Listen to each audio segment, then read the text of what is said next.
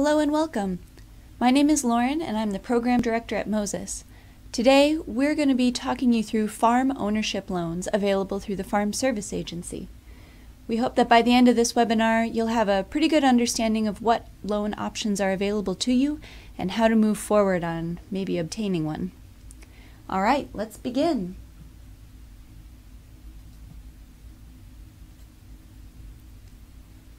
So the first big question is what should you know about FSA? FSA stands for the Farm Service Agency. They run several different programs, including the Conservation Reserve Program, which is also known as CRP, and they do crop reporting, they do organic certification cost share, and they do loan programs. That's what we're going to be talking about today. FSA is often known as the lender of first opportunity, which basically means those people, farmers, who are having a hard time accessing commercial lenders might have an easier time accessing FSA loans. And FSA hopes to help you through your first loan, or maybe two, so that you can start building and strengthening your farm business and hopefully eventually qualify to access commercial lending. If you're curious or not whether or not you'd qualify for an FSA loan, We'll touch a little bit on the eligibility requirements in this webinar, but I really recommend contacting your local FSA office. You can find some information on their website, but if you contact the office, you'll be able to ask questions about your particular situation and get answers from an actual person. Along with that, you should go to the FSA website if you have some more questions about FSA's programs. On their website, they have a lot of descriptions. They also have Meet a Farmer profiles, application forms, and some pretty good information about how to get started. Again, if you want personalized information, I recommend you talk to your FSA officers. But you can learn more on their website, at least to get you started, at www.fsa.gov.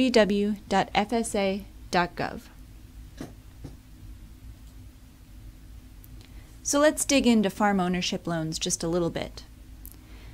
Farm ownership loans are basically used to add or expand your farm operation. Now, you can't use them to refinance a property you already own, but you can use them to purchase new acreage and do some work on that acreage. Um, for our purposes, we're going to mostly talk about purchasing new property or new acreage. Um, but if you have some questions about the other ways that they can be useful to you, again, it's useful to just talk to FSA and figure out exactly how you can use them and in what circumstances. Um, some of the other ways that they can be used are to construct or improve buildings and facilities, pay closing costs on a property, um, and cover some soil and water conservation opportunities. Um, basically, though, we're using them primarily to help farmers and ranchers who have difficulty accessing credit grow and improve their farm business, and usually through the acquisition of property. Now, there are a couple of different types of farm ownership loans. Uh, we'll go into them a little bit more in a minute, but just so that you've had an opportunity to look at the different options, there are direct farm ownership loans, which are kind of the regular version, joint financing, which is also known as participating, and then there are down payment loans, and FSA will guarantee farm ownership loans through a commercial lender. Uh, we'll talk about that a lot more in webinar 3, but for now it's good to know that that's an option if you've had a hard time accessing commercial loans up to this point.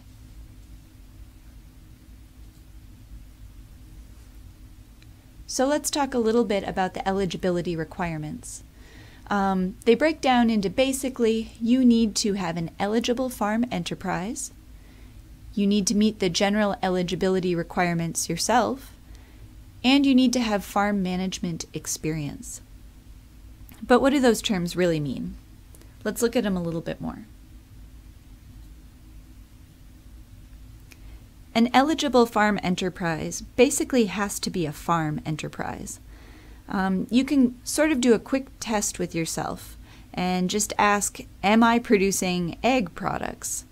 Um, so, for example, that might be growing a raw product that's going to be sold into the food or fiber or fuel market or be sold to other farmers.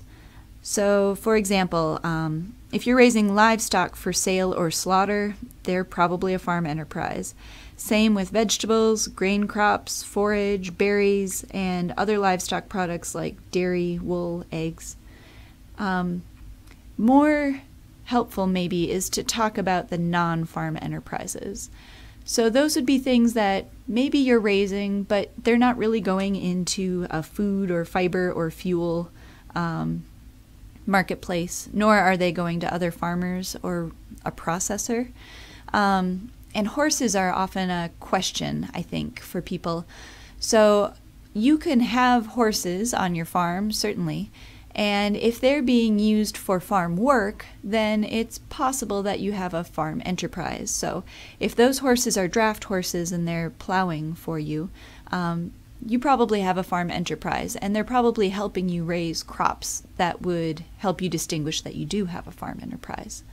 But if those horses are being just boarded on your property or are for show or racing or pleasure, then you might not have a farm. Um, you might be doing this more as a hobby or for fun, and it may be a business, but it's not really a farm business. Uh, if you find yourself in a gray area and you're not quite sure whether or not you qualify as a farm, you should talk to your FSA loan officer about your situation and hopefully they'll help you figure it out. The next eligibility requirement is just sort of your general eligibility.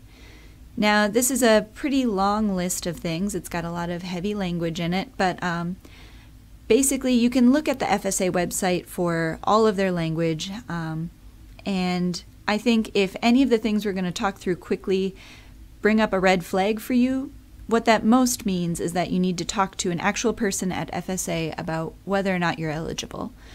But for many of us, uh, reading through this quick list will help us know that yes, we are indeed eligible, or maybe we need to ask some more questions.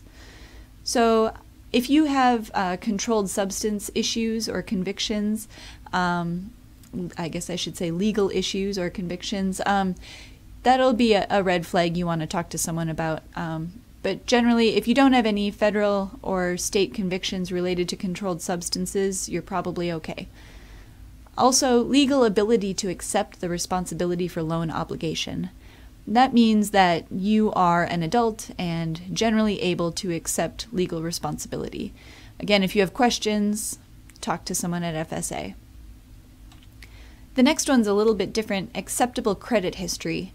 FSA doesn't use credit scores um, in particular to determine your eligibility, but they are going to want to know about your repayment history.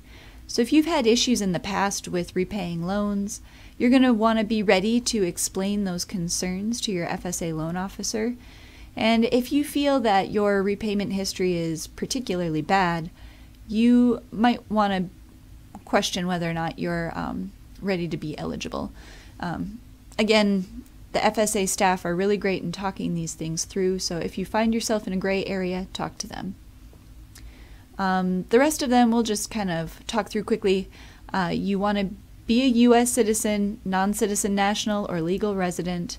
There's some language with FSA about people who live in certain territories. Uh, I would talk to them if you're in a territory. You don't want to have any previous debt forgiveness issues with the agency, and that would include a guaranteed loan. Also, you want to make sure that you weren't able to obtain sufficient credit elsewhere. Um, what that means is that you've contacted a commercial lender of some sort or a private lender um, and you haven't been able to access credit through them. You'll want to try one or two commercial lenders before you contact FSA. You'll want to also make sure that you don't have delinquent federal debts that you haven't had any issues with federal crop insurance violations. And I think most importantly, at the end of this process, you're going to be the owner operator of a family farm. So that means if you are buying property for a large corporation um, with lots of different partners, FSA probably isn't the right fit for you. But if you are looking at running a family scale farm at the end of this loan closing and the property will be owned by you and managed by you, then you're in really great shape. Hopefully, this is a pretty good overview of what you need to do personally to be generally eligible, but again, questions are best directed at FSA officers who can talk you through it a little bit more in terms of your particular situation. The other big thing is that you need to have experience requirements. Um, different FSA loans have different levels of requirements. So, a farm operating loan is going to require that you're able to operate the farm, but a farm ownership loan is going to have some heavier requirements, mostly because they know that they're giving you a, a pretty important and generally expensive um, opportunity here, and they want to make sure that you'll be able to repay that opportunity. So be ready to show that you have the experience you need to operate the farm and eventually repay the loan. And that eligibility can be uh, shown through education, through on the job training, or experience on farms, maybe a combination of the three. But most importantly, you'll want to make sure that you've participated in the business and decision making of someone's farm, whether it's your own or someone else's, at least three of the last 10 years. That will really help you show that you are ready for this loan.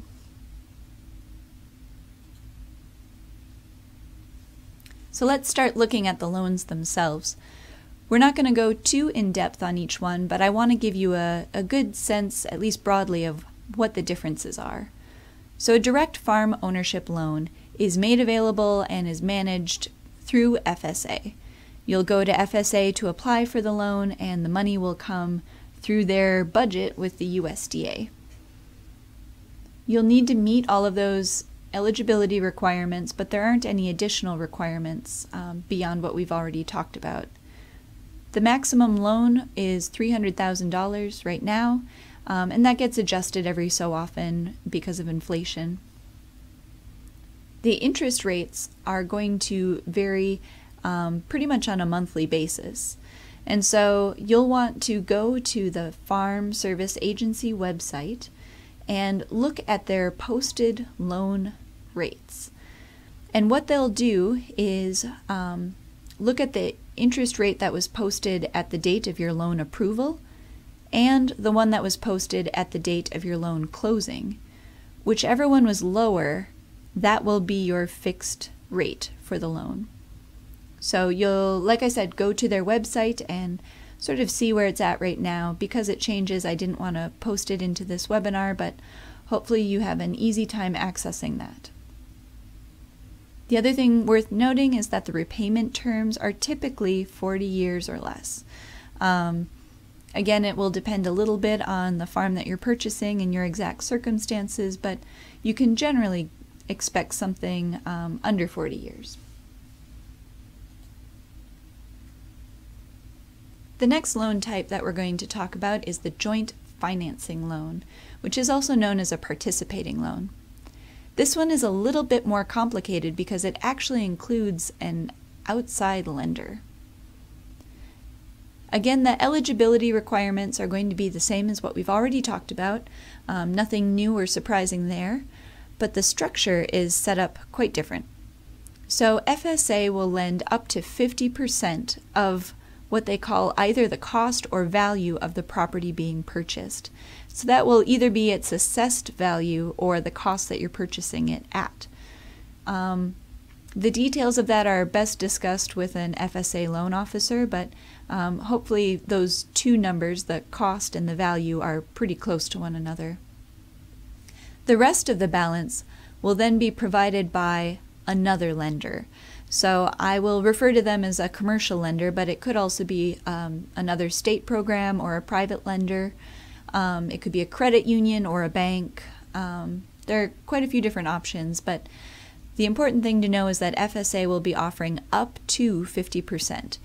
Um, you could set it up so that FSA was covering 45% and the remaining balance was covered by a commercial lender of some sort, um, but it has to be no more than 50. The loan limitation on this, again, is $300,000 and that is subject to change over time, but, but at the time of this webinar it was 300,000. The interest rate, again, is set up the same way that it was for the regular farm ownership loan. So you'll look at the date of um, your loan approval and the date of your loan closing. Whichever posted interest rate was lower should be your fixed rate. And again, the repayment terms, we're looking at a maximum repayment period of 40 years.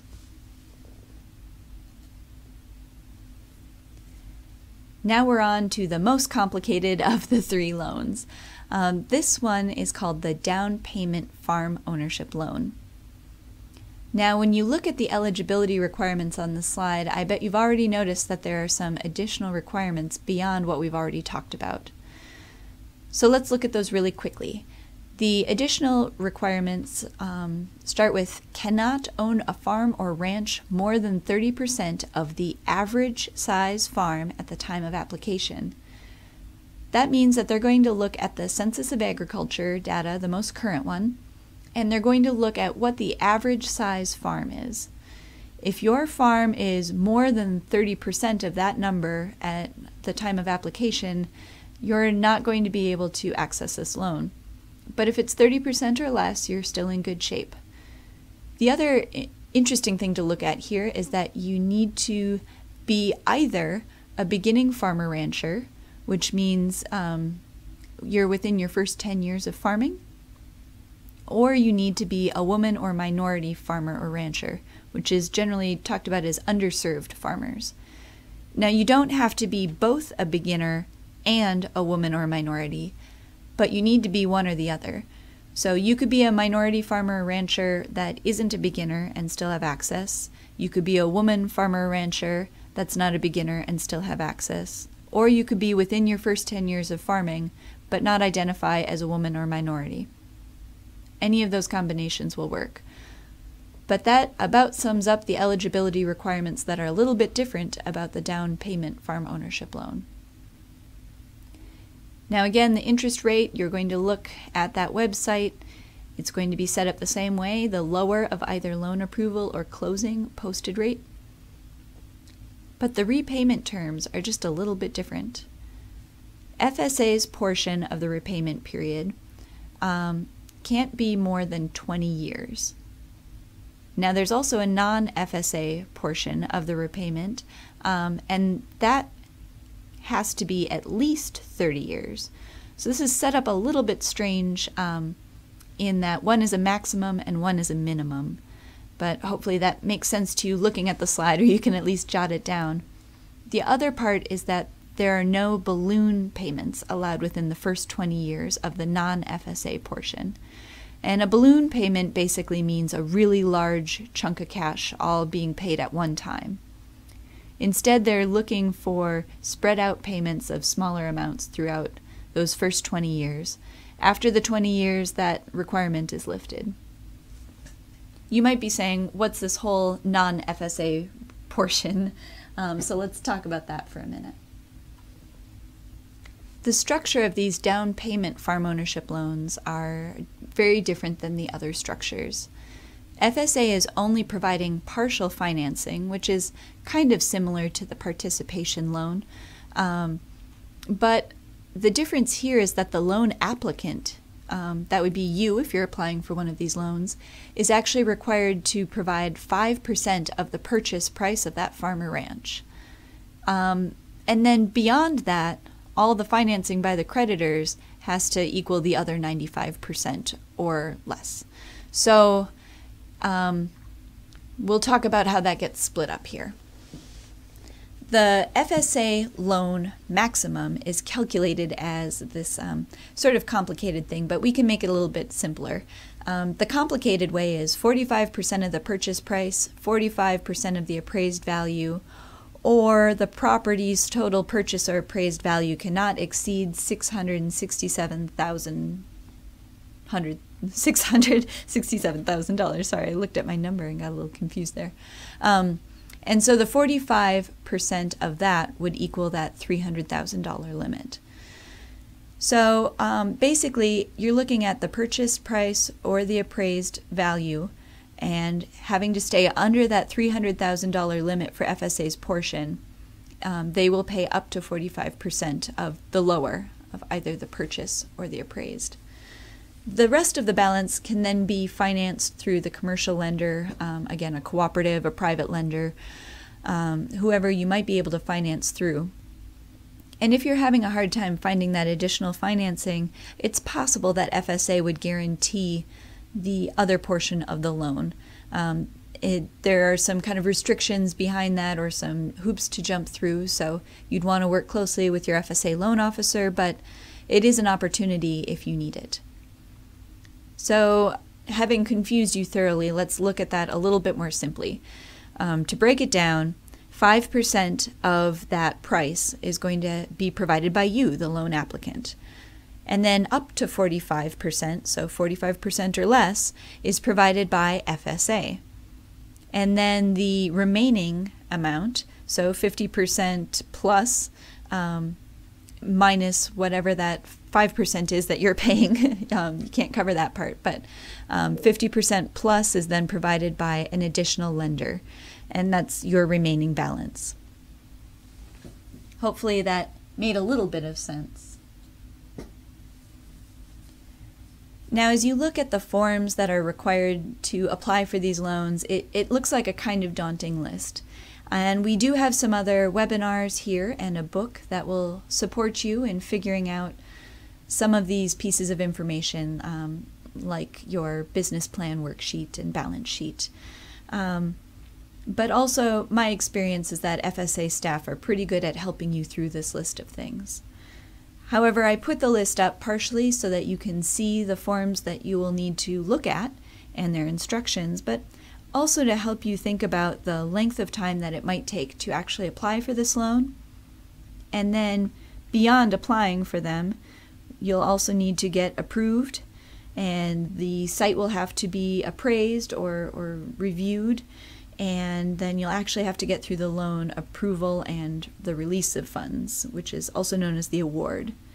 All of that can take a little bit of time. So it's important as you step into this process that you are prepared for the length of time this might take and know that you've looked at your other options and this seems to be the right one for you. Also, I mention all of these application um, pieces, all these forms, because if you are also applying for a direct farm ownership loan or uh, a direct operating loan, at the same time you're doing your direct farm ownership loan, you can include both loan applications on one set of forms because they require the same forms. So if you are hoping to purchase a farm and maybe add some capital needs to that, let's say a different tractor or um, some breeding livestock, you could potentially apply for both loans with one set of paperwork, and that can make your life a lot easier. So think about what um, your farm is going to need in order to be successful, and talk with your FSA loan officer about how you can best get that um, supported through the FSA.